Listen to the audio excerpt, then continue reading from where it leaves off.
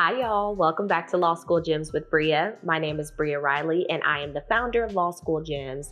I am also a practicing attorney here in Dallas, Texas, serving as in house counsel for a publicly traded company and their marketing and advertising legal group. Today, we are going to be talking about a very deep topic, a very personal topic to a lot of people, but it has to be discussed.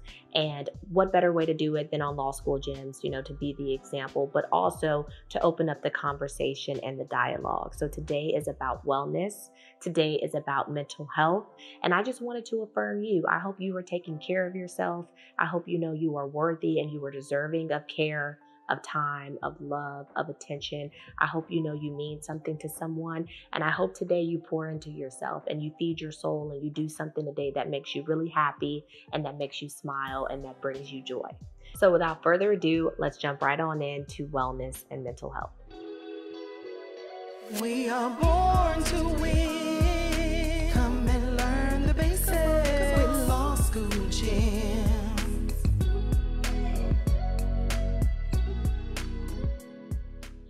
So, I wanted to bring this topic to you guys today because I got to thinking about Chesley Kryst. For those of you who do not know, Chesley Kryst was a beauty pageant and beauty queen winner. She is a, or was a phenomenal spirit, especially in the legal community. She was also an attorney. She was still licensed at the time of her passing. And she also was a news correspondent, a TV broadcaster. She was amazing. She was an excellent public speaker, a beautiful sibling and daughter and friend to many. And yet, and still, she's not with us today. And it got me to thinking that this topic is so pivotal, it's so vital. And as someone who is a young female woman of color in the legal profession, it's my duty to kind of talk to you guys about this, right? And to make sure that you're checking in and tapping in with yourself and your mental health. Because Chesley Kryst, to be honest, could be any of us, right? It could be me. You know, she was a biracial, triple threat, brains, beauty, brilliance. She had good character. She had a great heart. And yet, and still, like I said before, she's not with us today. And I don't want that to ever be any of you guys. So if you or anyone you know is suffering, especially throughout law school, because I understand how stressful it can be, make sure you say something. Make sure you speak up. Make sure you check on people. Understand that it's easy to get buried into our little hole and feel like no one cares, no one's reaching out we're not reaching out, we don't care, but make sure that you are checking in with yourself and you're having those mental health breaks.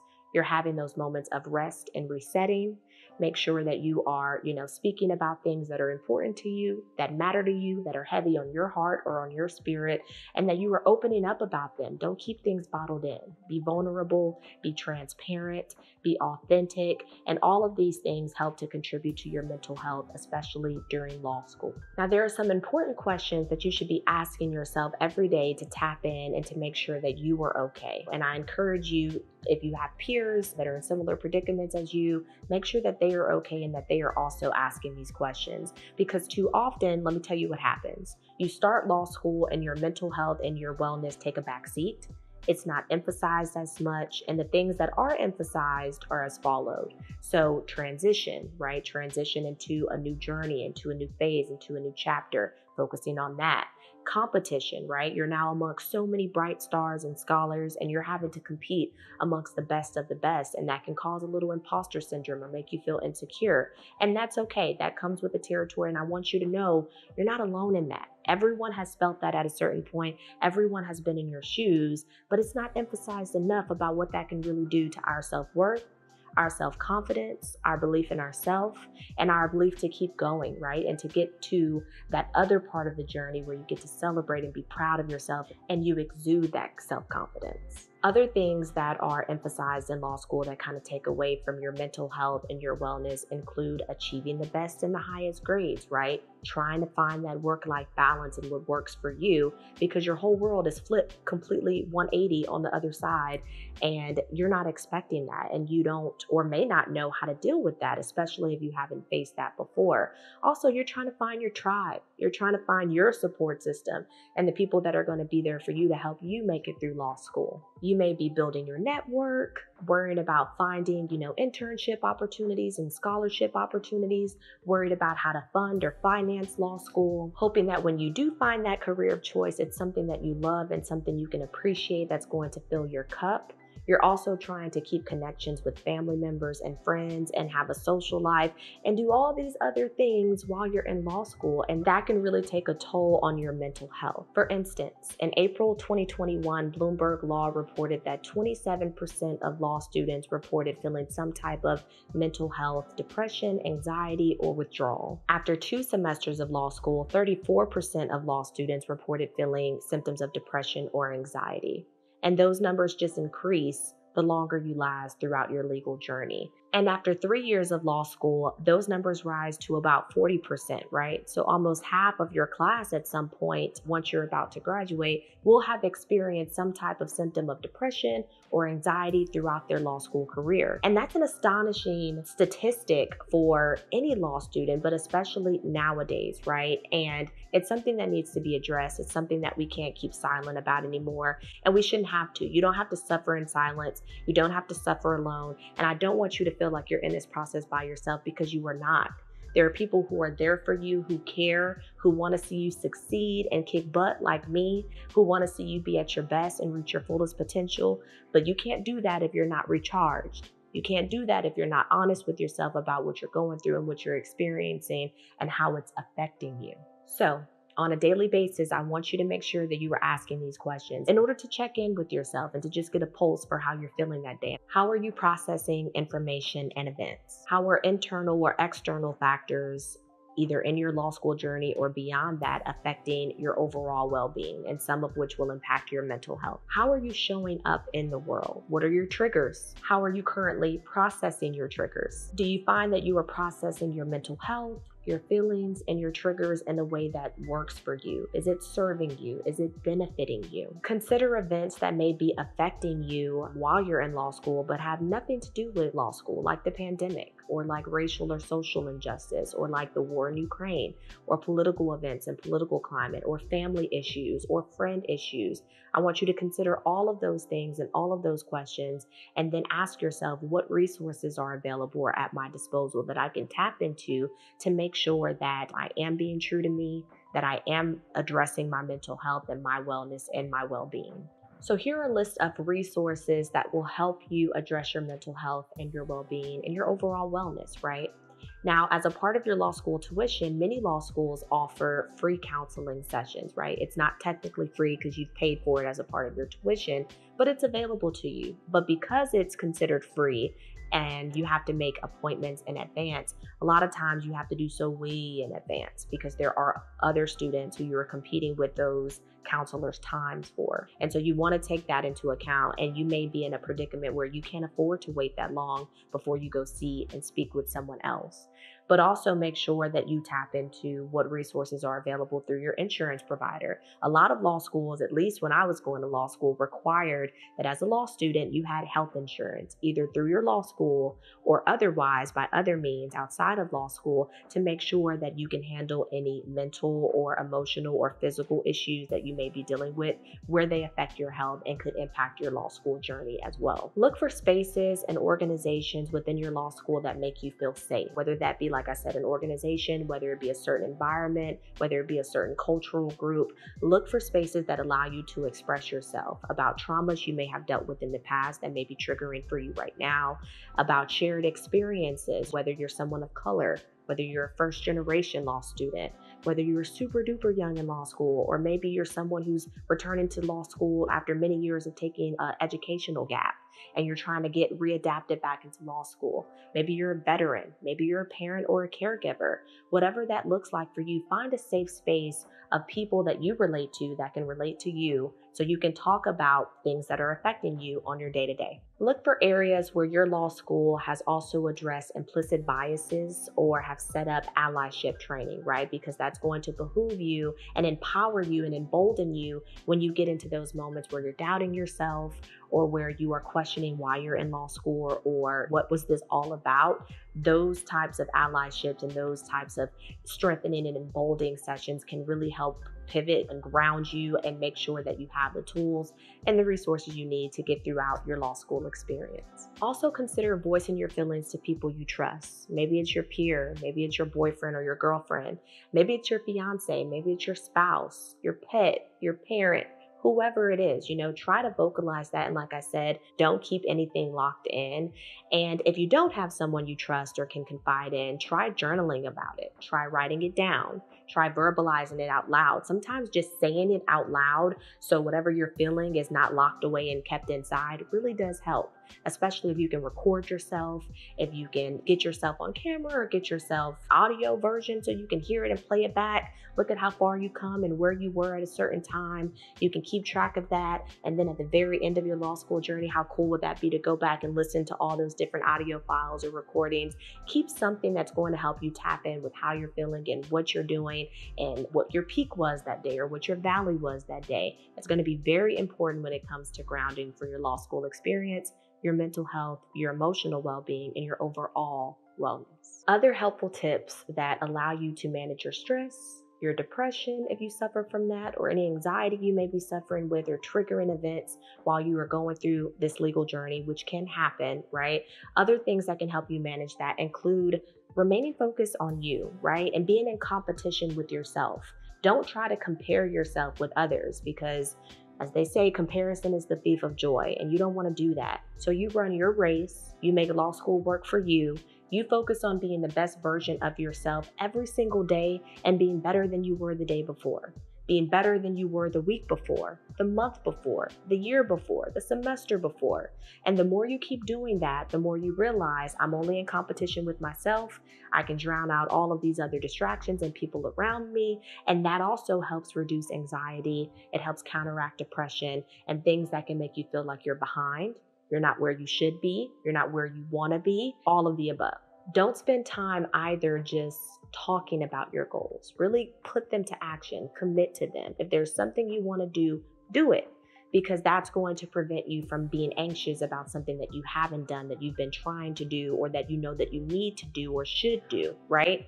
Also, don't procrastinate. Don't wait to the last minute because all that does is drive up that anxiety. It drives up those feelings of failure or lack of confidence or self worth or whatever the case may be.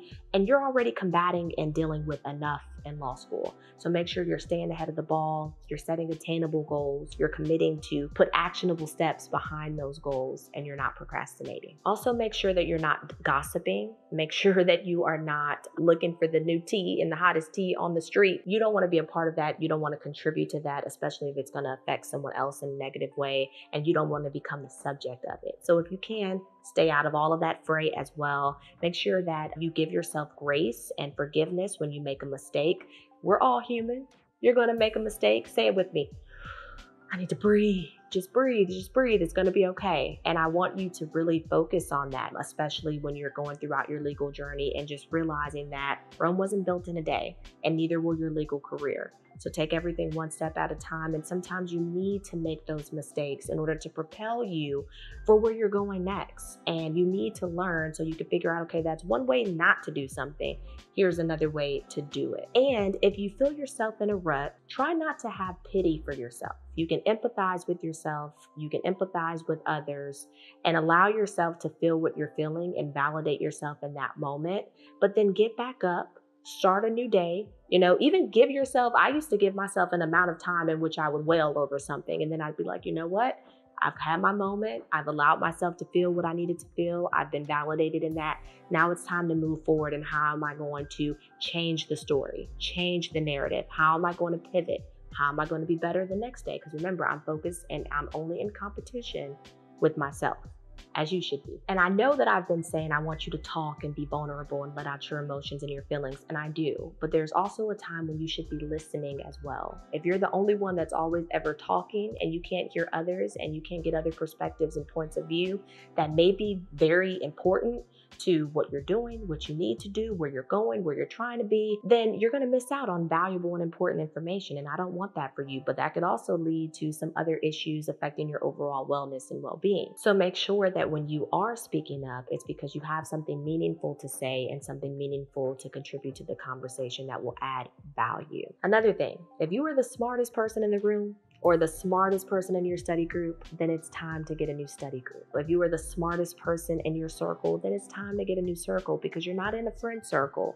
You're not in a cohort circle. You're not in a peer circle. You're in a cage. If you were the smartest, the brightest, the best, the most gifted, the most talented, right? You want to be around people that are going to challenge you, that are going to help you build and to get stronger in areas where you may be weak and to keep moment, well, momentum going. Yeah, keep the momentum going and keep capitalizing on areas where you are crushing it. And those are the type of relationships you want to foster because that's where your inspiration is going to come from. That's where your motivation is going to come from. And that's the characteristics that you're going to need to get throughout your legal journey while not impacting negatively your wellness, your mental health, or your emotional well being. Remember to grow where you are planted Remember to affirm others and to clap for them and cheer for them when it's their turn because it's going to come your turn one day and you're going to want people to do it for you.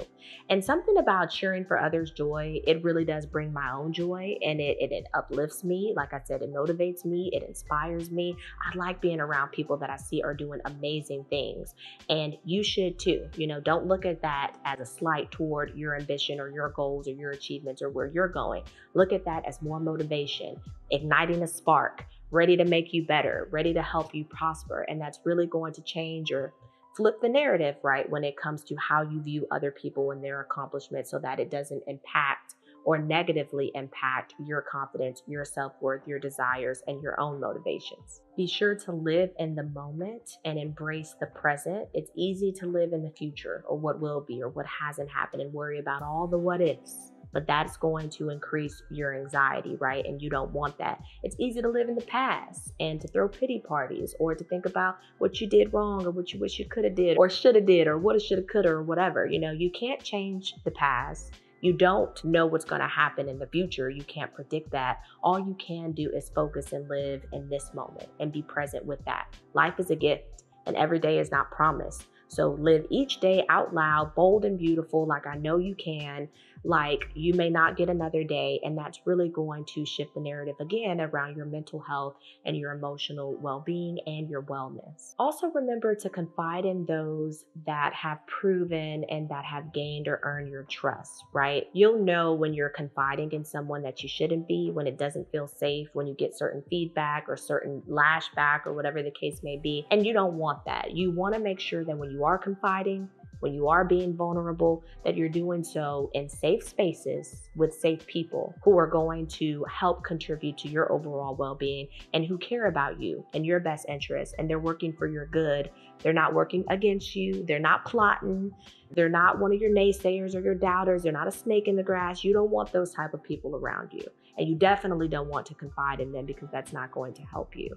So make sure that you have a good group of people around you as well. Do not accept advice from everyone. It's kind of like drinking from every cup that's offered or presented to you. Not everyone has your best intent or your best interest at heart. So make sure that you are taking advice from trusted sources only and from allies. Also, make sure that you are not allowing fear to dictate your choices. Do it scared. Do it as you're trembling. Do it as you're shaking. Hell, I'm doing this right now now. And I was like, whoa, you know, I never thought that I would actually see this come to fruition with law school gems, but it's here and it's scary. And sometimes it can be draining or whatever the case may be, but I do it because I love it and I love what I'm doing and I love helping you guys and talking to y'all, dropping these gems. So do it scared. Do not let fear be the dictator of your life and where you're going or your ambitions or your achievements. Be judicious with your time and your decisions. And then finally, y'all, celebrate everything, all the small wins. I want to hear about them all. Drop them in the comments. If you have a birthday you're celebrating,